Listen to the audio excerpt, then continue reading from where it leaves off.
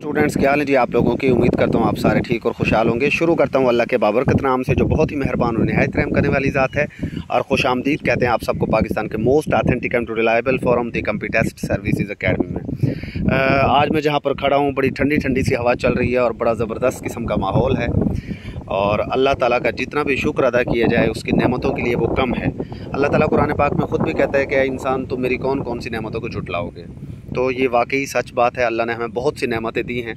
लेकिन मसला ये है कि हम जवानी के लालच में अपना बचपन गंवा बैठे हैं और अब पैसे के लालच में अपनी जवानी को गंवा रहे हैं। तो कदर करें अपने वक्त की इंजॉय करें अपनी ज़िंदगी को, अल्लाह को भी राज़ी रखें और अपने माँ बाप को, अपने दोस्तों को भी राज़ी रखें।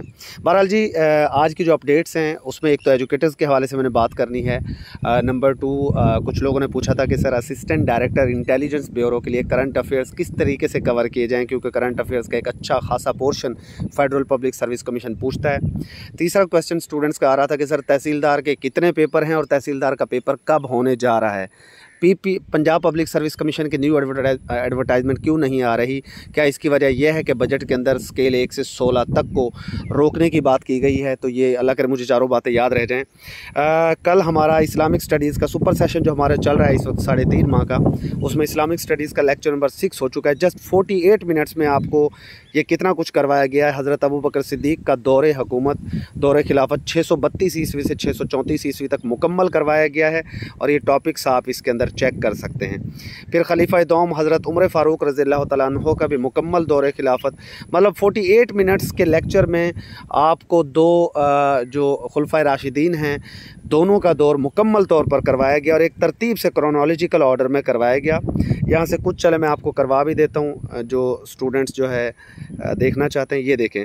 हज़रत अबू बकर सिद्दीक के मुतालिक जो क्वेश्चन पूछा जाता है, सबसे पहला तो वो यही है कि आपका दौर हुकूमत कब से कब तक है, आपका दौर खिलाफत कब से कब तक है ग्यारह हिजरी तक तेरह हिजरी।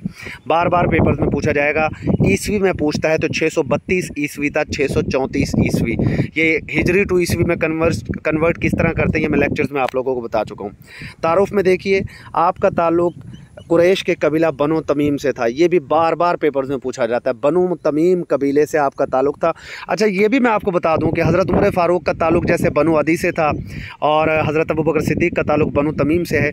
ये कबीले, जो कबीला कुरैश नबी पाक सल्ला वसलम का जो कबीला है ना कुरैश, उसी की ये शाखें हैं।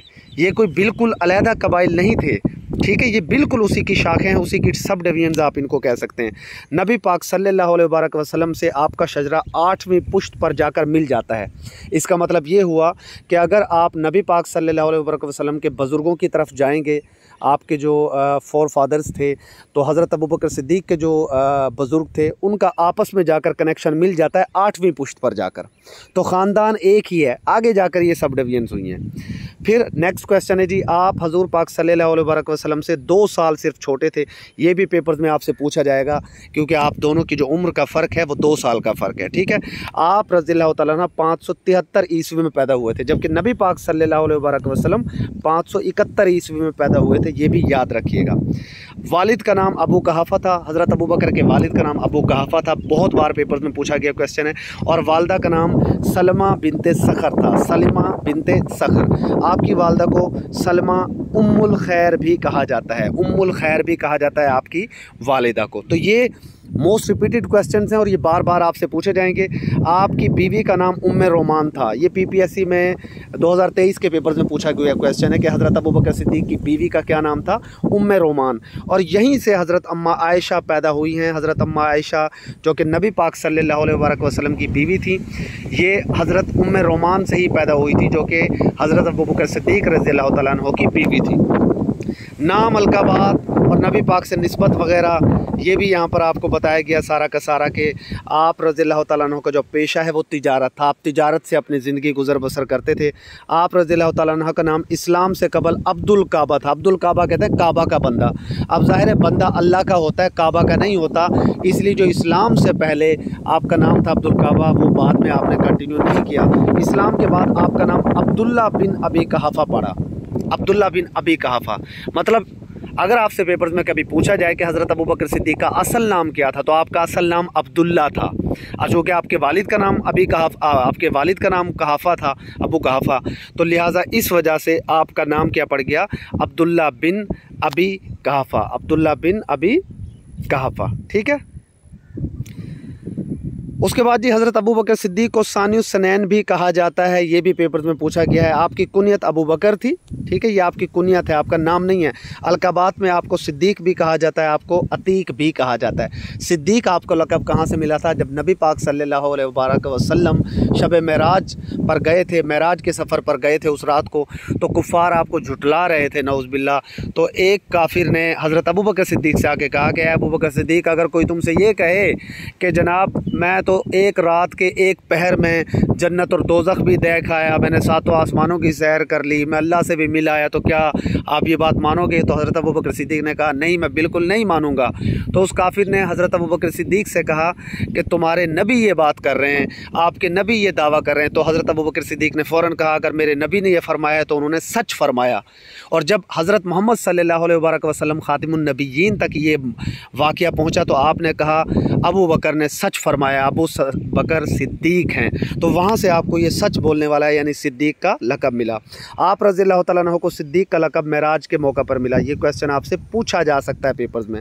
आपको यार गार भी कहा जाता है, क्योंकि सफ़र हिजरत में आप नबी पाक सल्लल्लाहु अलैहि वसल्लम के साथ थे, ठीक है?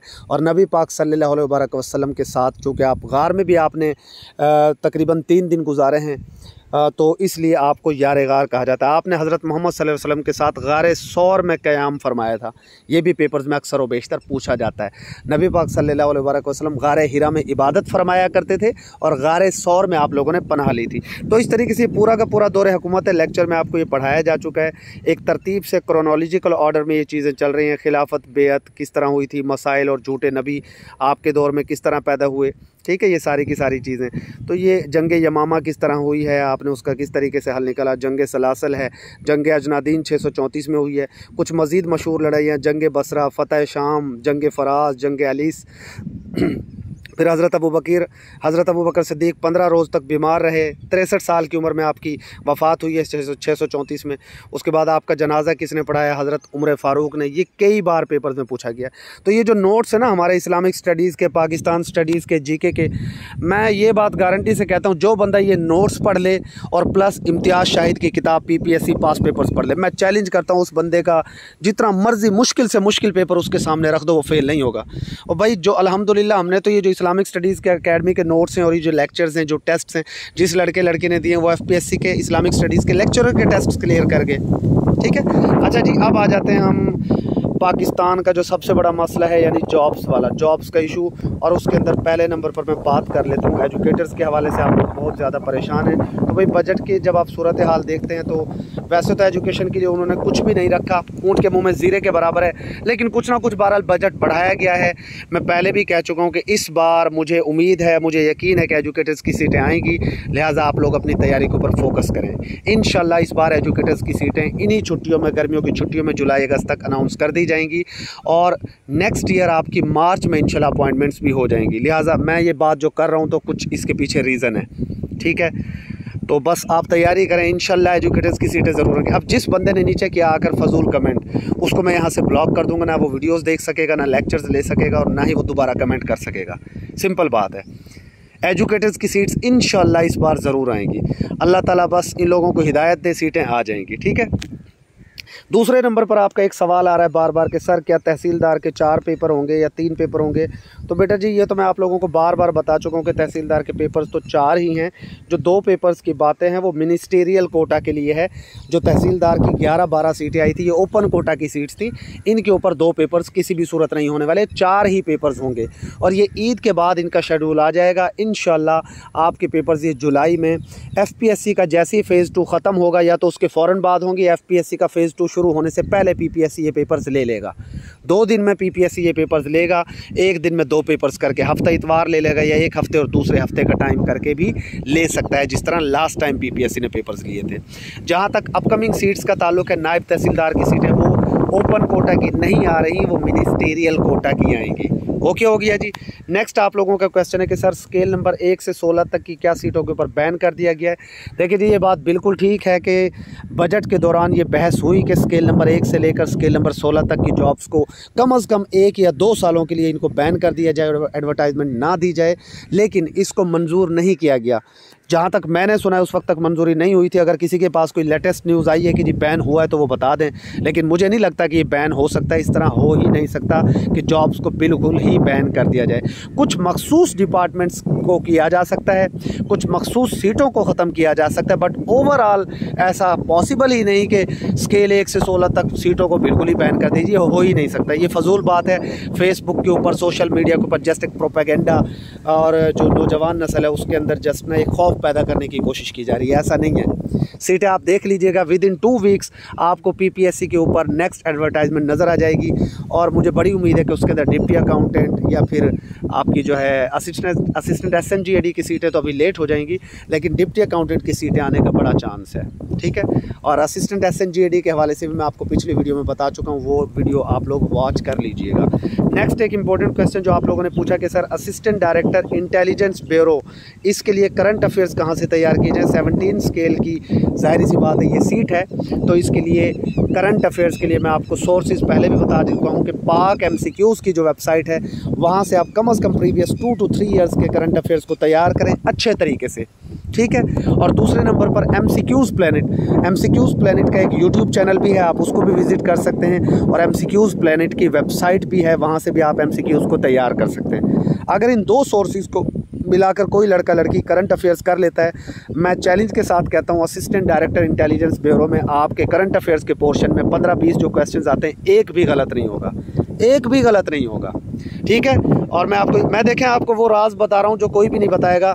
इससे पहले, दो साल पहले तक फेडरल पब्लिक सर्विस कमीशन एक वेबसाइट हुआ करती थी is go learning is go learning एक वेबसाइट थी जिसके बारे में किसी को भी नहीं पता था। ठीक है इस गो लर्निंग वहाँ से federal public service commission current affairs के क्वेश्चंस बहुत ज़्यादा उठाया करता था पाक एम प्लस इस गो लर्निंग बट आजकल इस गो लर्निंग जो है वो काम नहीं कर रही है, वो वेबसाइट तकरीबन बंद हो चुकी है, आप लोग रीचेक कर लीजिएगा। अगर वो रिस्टार्ट हुई है तो फेडरल पब्लिक सर्विस कमीशन वहाँ से भी करंट अफेयर्स के क्वेश्चंस उठाता है। और ये जो इस गो लर्निंग है, यहाँ से कंप्यूटर भी बहुत ज़्यादा उठाता है। Federal public service commission PPSC की बात नहीं कर रहा मैं। पीपीएससी कंप्यूटर उठाता है एग्ज़ाम विडा और पाक एमसीक्यूज से। और फेडरल पब्लिक सर्विस कमीशन उठाता है इस गो लर्निंग वेबसाइट से। तो देखिए, मैं आपको सोर्सेज भी बताता रहता हूँ बुक्स भी हम बताते रहते हैं। और सेशन की डिटेल कंप्लीट मौजूद है। नीचे डिस्क्रिप्शन में new session the Computest services academy का सुपर सेशन 23 जून से इंशाल्लाह हमारा ग्रुप बी स्टार्ट हो जाएगा। थर्टी सेशन का ग्रुप ए ऑलरेडी स्टार्ट हो चुका है। अलहमदिल्ला बहुत सारे स्टूडेंट्स हैं। और एक इंपॉर्टेंट खबर, कैनाल पटवारी के इंटरव्यू की प्रिपरेशन हम खुद करवा रहे हैं। कैनाल पटवारी के इंटरव्यू प्रिपरेशन की फ़ी बेटा पाँच हज़ार फाइव थाउज़ेंड हमने रखी है सिर्फ़। और इससे कम हम नहीं रख सकते क्योंकि मैं बोर्ड ऑफ़ रेवेन्यू का हिस्सा हूँ। मेरे साथ इरीगेशन डिपार्टमेंट के पटवारी होंगे, ज़िलादार होंगे। जो आपको गाइड करेंगे। और अगर डिपार्टमेंट का बंदा आपको गाइड करता है तो आप कामयाब हो जाते हैं। बोर्ड ऑफ़ रेवेन्यू के अंदर असिस्टेंट की एक दो सीटें थी, लेकिन हमने उसकी तैयारी करवाई। और मेरे साथ मुदसर रसूल थे, जो बोर्ड ऑफ़ रेवेन्यू में ऑलरेडी सुप्रिटेंडेंट के तौर पर काम कर रहे हैं सेवनटीन स्केल पर। उन्होंने स्टूडेंट्स को गाइड किया और माशाला हमारे स्टूडेंट उसमें सिलेक्ट भी हो गए हैं। तो कैनाल पटवारी में, चूँकि मैं खुद बोर्ड ऑफ़ रेवेन्यू का हिस्सा हूँ, मैं खुद अपने पटवारियों के ज़रिए काम करवाता हूँ कि आप या ना किस तरीके से वो कलेक्ट करते हैं, ढाल बाज क्या होती है, ढाल को तैयार कौन करता है नंबरदार फिर उसको कैसे आगे लेकर जाता है? ये काम मैं आजकल करवा रहा हूँ अपने पटवारियों से। तो रात दिन हमारा काम है महकमा नहार के साथ, ठीक है? ई आबियाना क्या है, मैनुअल आबियाना क्या है, मैनुअल खतूनी क्या है, और ये करंट आबियाना और प्रीवियस आबियाना एरियर्स क्या होते हैं, तावान क्या है, तावान लगता कब है? तो ये सारी चीज़ें आप अगर रेलेवेंट बंदे के पास पढ़ेंगे तो आपको फ़ायदा होगा। इरेलीवेंट से आप तैयारी करना चाहते हैं तो इट्स अप टू यू बहरहाल, कैनाल पटवारी के इंटरव्यू की प्रिपरेशन इन हमारा अट्ठारह जून से सेशन स्टार्ट हो रहा है। अट्ठारह जून से ऑनवर्ड जब तक कैनाल पटवारी की प्रिपरेशन होगी इंटरव्यू की चलेगी। फ़ी के अंदर इसमें कमी नहीं होगी। मेरे साथ अरशद साहब होंगे सीनियर कानूगो हैं और अब वो नायब तहसीलदार होने वाले हैं रेवेन्यू डिपार्टमेंट में और इरीगेशन डिपार्टमेंट से मेरे साथ एक ज़िलादार होंगे, एक कैनाल पटवारी होंगे और मेरे अपने डिपार्टमेंट के भी पटवारी आपको इसके हवाले से गाइड करेंगे। तो चार पाँच बंदे आपको गाइड करेंगे। इसके हम आठ स्टेजेस बनाएँगे। सॉरी थोड़ी सी वीडियो लंबी हो रही है, लेकिन कैनाल पटवारी के हवाले से मैं बता दूँ कि हम आठ स्टेजेस में इसको कवर करेंगे।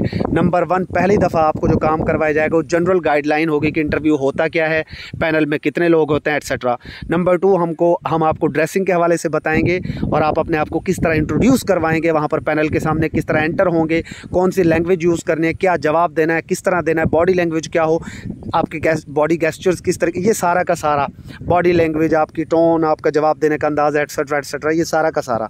ये आपको दूसरे फ़ेज़ में बताया जाएगा। नंबर थ्री आपको हम तैयार करेंगे डिपार्टमेंट के हवाले से, क्योंकि 80 परसेंट आपका इंटरव्यू डिपेंड कर रहा होता है। डिपार्टमेंट के मुतालिक आपका नॉलेज कैसा है? भरपूर तरीके से आपको उसके हवाले से तैयार किया जाएगा। डिपार्टमेंट के हवाले से आपको भरपूर तैयार किया जाएगा।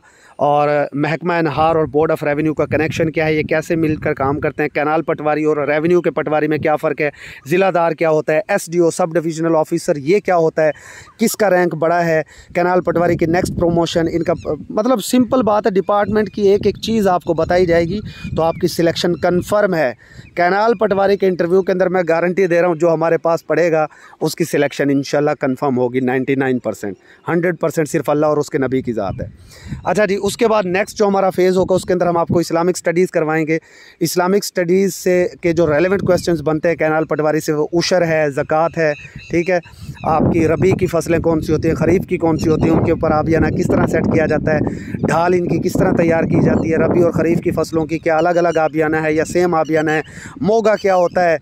और नहरें क्या होती हैं, नहरों की अकसाम कितनी हैं, ये सारे के सारे वो क्वेश्चन हैं जो आपसे इस्लामिक स्टडीज़ को रिलेट करके पूछे जाएँगे। उशर की क्या हद है, उशर के ऊपर कितना जो है वो उसका कहते हैं ना, निसाब क्या है, क्या उसका कोई निसाब है भी या नहीं है? ठीक है?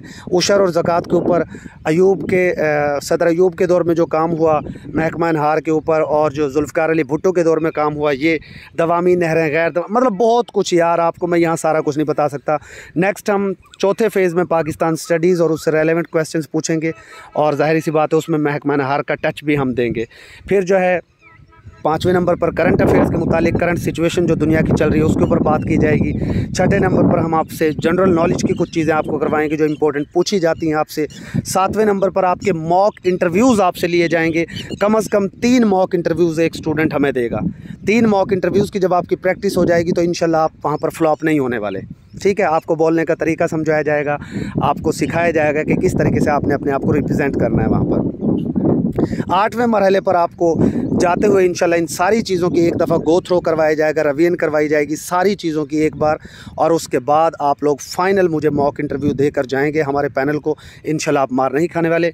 तो कैनाल पटवारी की इंटरव्यू की प्रिपरेशन के हवाले से हम अपना ग्रुप स्टार्ट करने जा रहे हैं। ग्रुप हमने बना दिया है। उसके अंदर स्टूडेंट्स की जिसकी फ़ी आती जाएगी उसको हम ऐड करते जाएँगे और इन ये आपकी ज़िंदगी का सबसे बेहतरीन फ़ैसला होगा।